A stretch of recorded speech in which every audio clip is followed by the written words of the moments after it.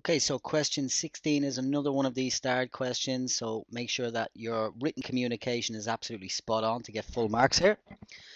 S and T are points on the circumference of a circle with center O. PT is a tangent. That word is very important in this particular question. It's a tangent to the circle.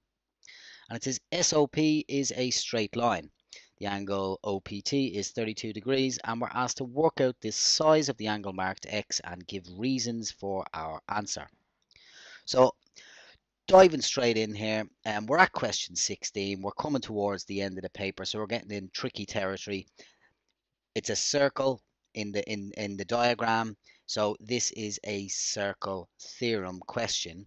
And I always tell my students when when I see the word tangent and we're dealing with circle theorems questions, well, this is our tangent here. Let's just highlight it. So here's our tangent that they're talking about in the question.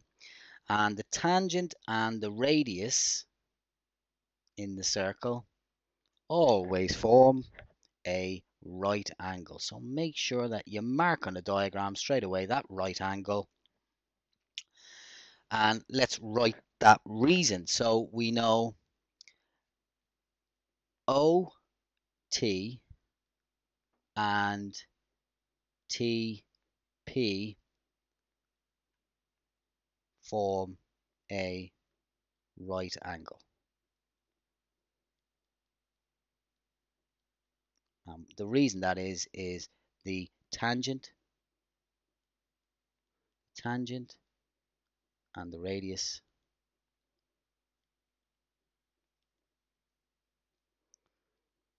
form a right angle. So that's the first piece of information and that's our first mark.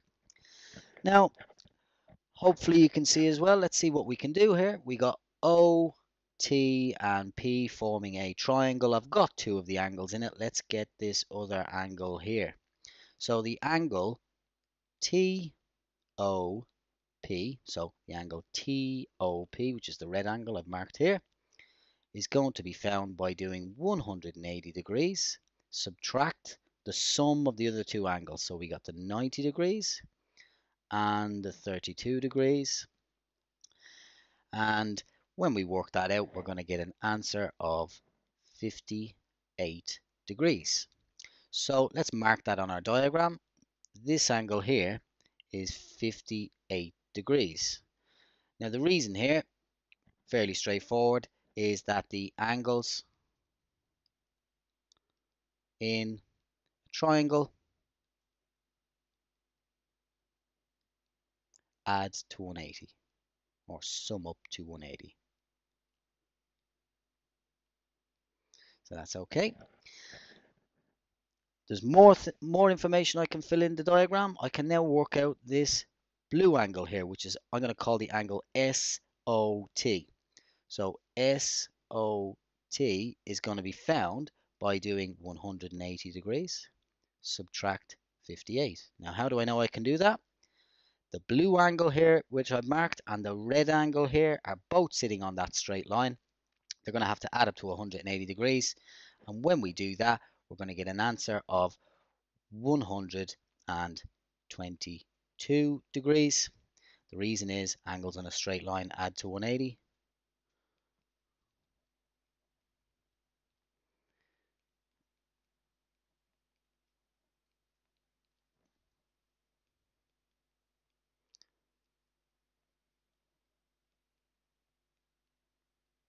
And let's see what else we can work out now. We know that this is going to be 122 degrees.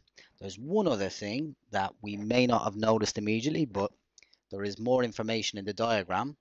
And it's actually that this triangle here, which I'm going to circle, I'm going to highlight in blue. So this triangle here, which I'll highlight in blue, this, this, and this. It's unfortunate that the, we can't highlight over that green, but hopefully you get the idea. So we're talking about that triangle there is actually an isosceles triangle. Now, how do I know that? OT is a radius, so it has a particular length, but also OS is a radius, which means that those two sides in the triangle are the exact same. A triangle with two sides that are the same must be isosceles, which means this angle here must also be the same as x, because the base angles in an isosceles triangle are equal. So let's work out x. What are we going to do? We're going to do 180 degrees because that's the total number of degrees in a triangle. We're going to subtract the 122 that we know from here, which we should already know is 58 degrees. And then what we're going to do is we're going to divide that by 2. So 58 degrees divided by 2, because these guys are exactly the same, is going to equal 29 degrees. How did I know that? The base angles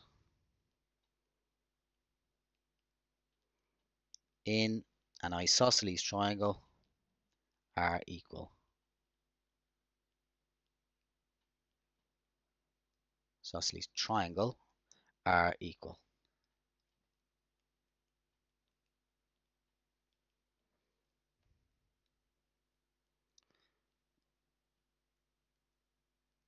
Now, we've probably written more than we need to get full marks there for five, but let, us be absolutely certain that we can explain how we know um, how we know angles have particular values. Okay, so use all the facts, all your knowledge to um, to impress the examiner and make sure that you get all those communication marks.